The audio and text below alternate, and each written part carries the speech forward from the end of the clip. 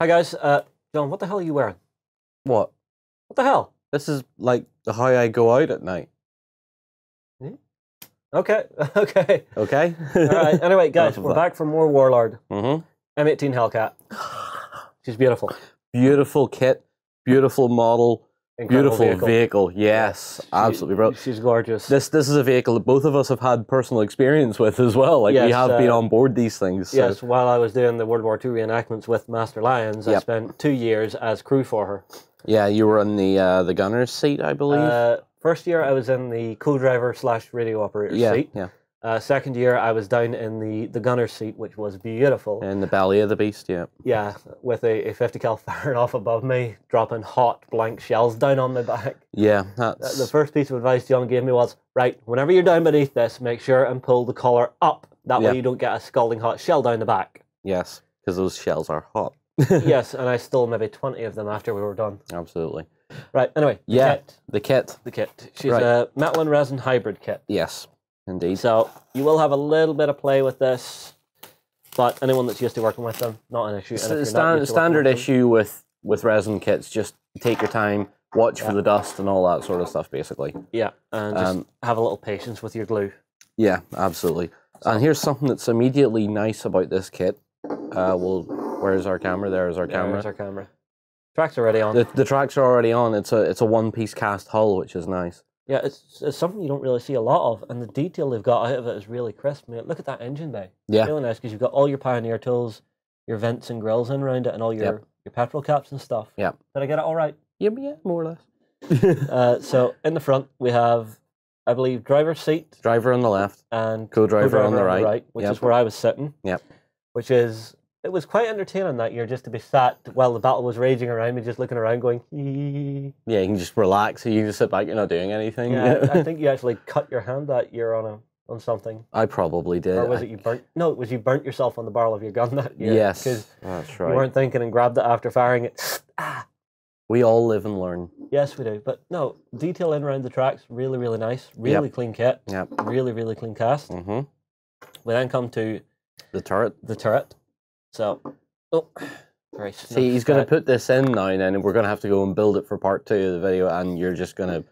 It's No, going to be a nightmare to take So- off again. There's the turret in. hmm So you've got two crew inside. Now I think Yep. this is a little bit of a bugbear for you because it's meant to be a three-man crew in the It's a turret. three man turret. It's a three man turret. Where's the commander? okay. There's no commander. I see a loader and I see a gunner. I don't see a commander. Yeah. So up here would be your gunner. Yep. And here's your loader. You have your gunner down here, sat in the front. You have your loader sat here. He's got a ready rack of ammunition in front of him, and uh, into the back of the turret as well. He's got a secondary rack, and then down into the hull, Yeah. where the rest of the, Yeah. the rounds are stored. And again, brilliant detail on this because you've got all the, the little stowage bins and stuff up Yep. around it, all filled up with And packs and stuff. Yeah, I like the fact that there's already stowage on it. You don't have to go and find some or Ah. buy some or anything like that. There's Yeah. always stuff there. Yeah, but no, they've done an, an amazing job with it. Yep. All right, let's get on to the business end of it, the guns. Yeah. So we have So- two. We have two. Why do we have two? We have two because there was two. Uh, basically, Hellcat was a late war vehicle. Okay. Um, it's armed with a 76 millimeter gun, which is the same as the likes of the Sherman Easy 8, Mm-hmm. um, but also the the M4A176. Right. It's more or less the same gun, and the M4A uh, the M4A176 had a no muzzle brake on it. Right. Uh, probably because the turret was bigger and it just uh, allowed the recoil to go as far back as it needed. Yeah. The reason for having a muzzle brake is that it reduces the re- the length of recoil that the gun takes when it fires. All right, so it's giving an extra final venting point. Yeah, it vents it, it vents some of the gases sideways and back. I think so. It sort of acts as a bit of a buffer right. to stop the gun running back just as far as it would Right, so she's not going to tear herself out of her mountain. So in it, you would have found the, the initial production Hellcats that seen service uh, towards the end of 44, early 45, Mhm. wouldn't have had the muzzle brake on them. But most of the Hellcats you'll find now, which are the more sort of very late stage war um, and then post war period, Mhm. is when they fitted the muzzle brakes to them. Right. Uh, and a lot of them went off to serve in the likes of the Jordanian army and all that sort of stuff until the 60s Yeah. with that sort of setup. Yeah. Well, I mean, like in bolt action, this this is a fantastic vehicle. to have. Yeah, when we were looking through the rules, we were quite surprised actually. Yeah. Well, I mean, like you're not breaking 200 points No. well, the only way you're breaking 200 points is uh, if you go veteran, that's 186 points. Yep. Add yourself a heavy machine gun, that's 25, Yep. and add Recce to it. Yep. And I will say this now anybody who takes this without those two upgrades, you are a lunatic. Just because they're so useful. Absolutely. Because you, you, you get an, an HMG up there, Yep. Which will do whatever it does. It's a 50 support, cal. Happy Yep. you like.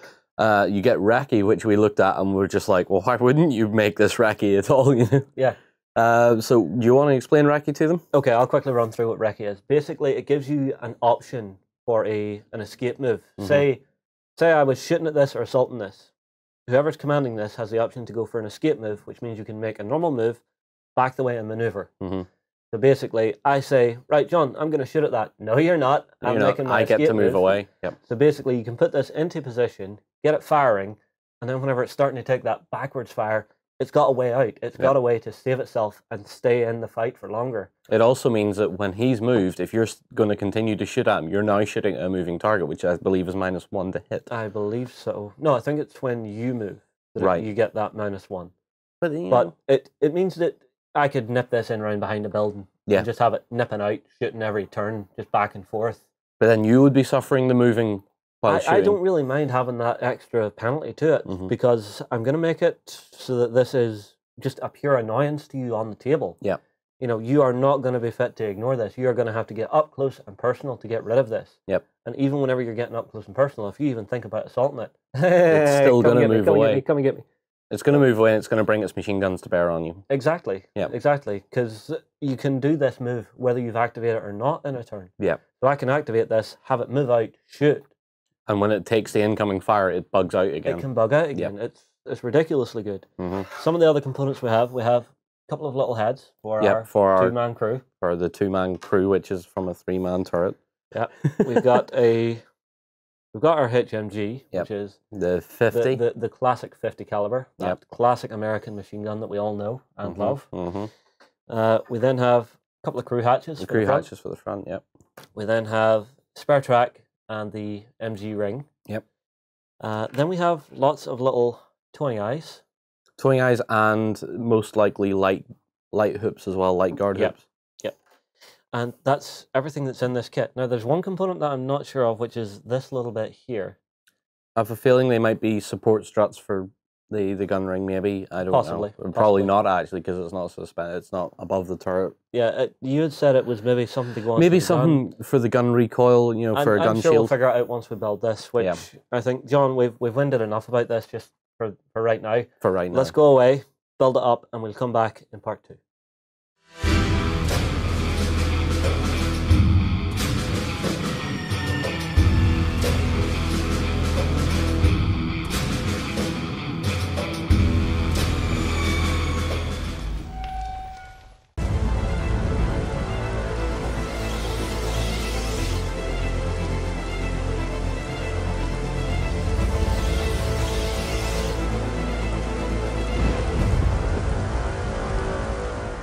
And we're back. Right. We are back. Now you get to wax lyrical.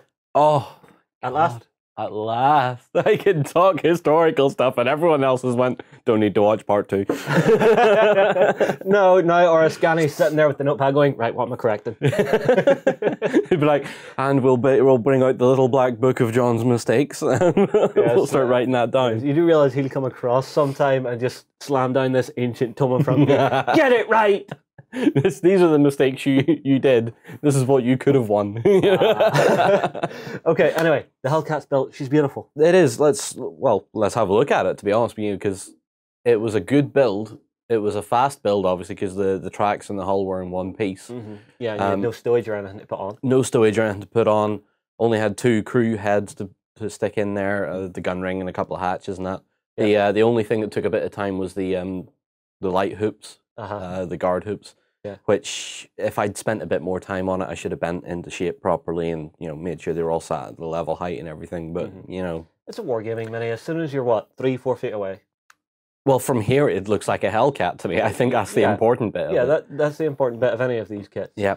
I No. like, I see you've actually took a little time to actually straighten out the gun barrel. That took a while. Yeah, with, with metal minis, you always do get that. Sometimes a little bit of a curve in the, the gun barrel. Yeah. You'll try to bend it and straighten it, and then you've bent it in the wrong place, and then Yep. it's just ding, ding, ding, ding, ding. And the mold lines, you notice I got rid of the mold lines? Yep, you got rid of all the mold lines. Yep. And now, here's the test. Mhm. This turret, in part one, this was tight as hell. Is it still? It's, it's Just don't, please don't point it towards the front of the vehicle because Okay. I have sanded it for quite a while. Okay, so it's still pretty tight. So, so front ways, it tightens up a little bit, but yeah, you you need again, to. it's it's just working at the thing. Yeah, you know. absolutely.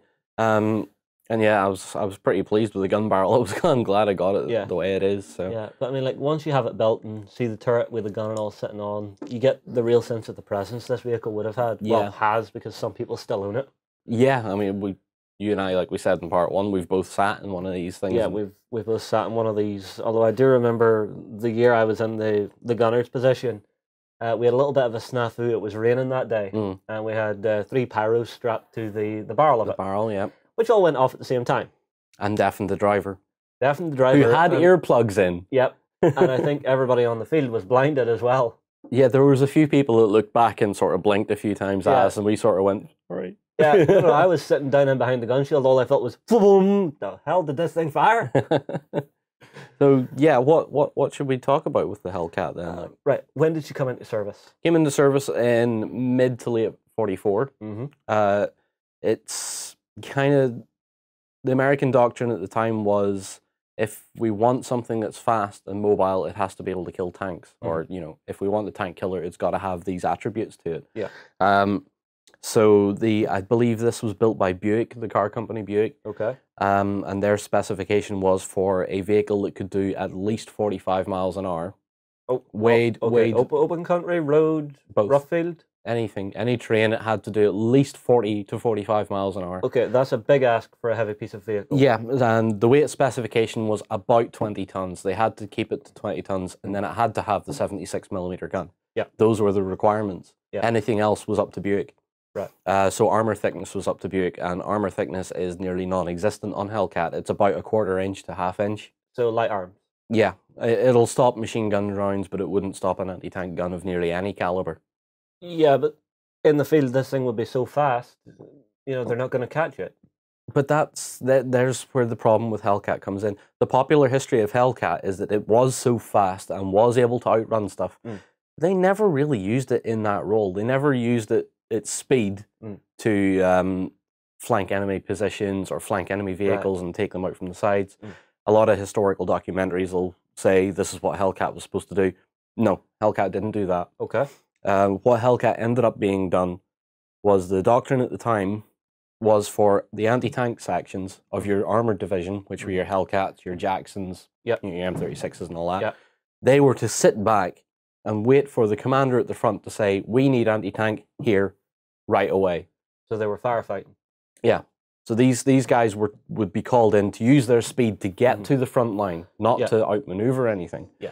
Um, Hellcat's biggest success as an anti-tank weapon and using its maneuverability Mhm. uh, came during the towards the latter stages of the Battle of the Bulge, Right. where a platoon of these was stuck in a village. Yep. The fog was down. I think these the, the records maybe said that the visibility was maybe 200 meters Okay. or 300 meters, something like so that right and tight. yeah, you're with anything with that kind of gun, you're firing point blank at 300 meters. Yeah. So um, what happened was that these guys were brought into this village. They had to hold the village as long as they could, Hmm. and a regiment of Panthers turned up. Fun. Yep. So these Panthers started to advance on them, Mhm. and using their maneuverability, what they would do is fire and maneuver. Yeah. The the guys broke themselves down into a couple of sections. Yeah. One section would move up, fire, reposition, fire from another angle, reposition, fire from another angle. Mhm. They did this for about six or seven hours. Yep. And the the Germans, the entire Panzer regiment fell back because they believed they had ran into the core elements of an army. I see. So because they were fit to reposition so quickly, the Germans saw so many fire points. Yeah. You know, there's fire coming from there, there, there, there, there. Crap, there has to be a lot of stuff there. Let's bug out. Yeah, absolutely. And That's- that's, That's the quite clever. it, it was a very clever thought. And uh I think in some cases, I don't know if this bit's myth or not, Hmm. but apparently the Hellcat crews painted over the tank numbers on their vehicles, so that if the Germans caught eye on them, they couldn't say, "I seen that vehicle over there five minutes ago." Yeah. So suddenly one became two, Yeah. two became three, whatever. They made the vehicles anonymous so that they, they all looked the same regardless of where they Oh, were. I see what. Right, that that sounds like it could be myth. hmm You know, it's it's something that was maybe came up by someone afterwards. Just said, "Oh, wouldn't that be cool?" And someone then took it as Yeah. it could be true. Someone took it as it was true. It might have been something they did after the engagement where they thought that's a good idea because they might recognize the vehicles in different positions. Yeah, or I- maybe at the end of it they said, "Right, if they come back, let's not show our numbers to them." Yeah, a lot of times as well with tank crews, they in the late war they painted over the white star. Hmm. They painted it over in either dark grey or black, Right. just so that when you're up close to it, it's there, Hmm. but at a distance, it's not an aiming point for someone. Yes, because you've pointed this out to me on, say, Sherman or something, where Yeah. they would have the, the extra plate welded on the side but have the star on it. And the star on German gunners would actually just use that as an aiming point to Yeah. actually go, that's where his ammo is. Skadoosh. The best picture of that is in Battle of the Bulge Hmm. dur- during the Ardennes offensive with a Sherman that had been knocked out, Hmm. and there was two holes from a 75 millimeter anti-tank gun through the middle of the star. Yeah. Yeah, that, that was the aiming point. You point your gun at that and you'll hit it. So Yeah. Right, well, I think that's all we really have to say about the Hellcat. She's a beautiful vehicle, brilliant in game, hmm and seems to have a really great history. Guys, myself and John are going to move on here. We'll see what else we can find to unbox, and we'll see you in the next video.